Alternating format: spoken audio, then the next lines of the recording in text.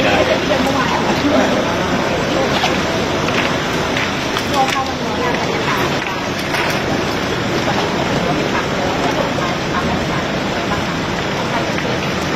ียกไม่ไม่ไม่เรียกครับแต่ว่าตื่นเต้นมากเพราะ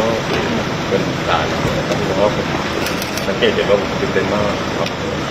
แต่ว่าเครียดไม่เครียดเลยเพราะว่าตามที่ามคนที่มา ไหมไม่เคยนะไม่เคยไม่เคยขึ้นอย่างนี้มาก่อนครั้งแรกตื่นเต้นมาก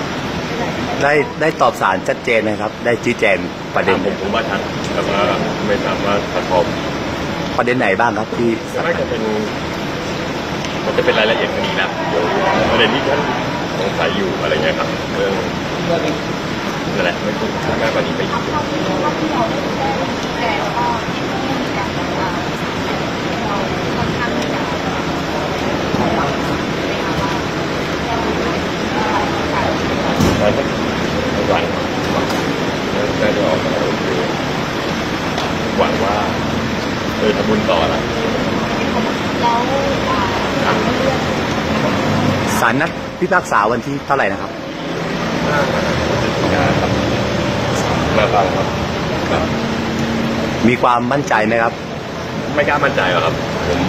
ครับต้องต้องขึ้นอยู่กับเอกสารหลักฐานแต่หลังจากนี้จะไปทำบุญใช่ไหมคะ ด้วยไหมถึงที่เห็นบอก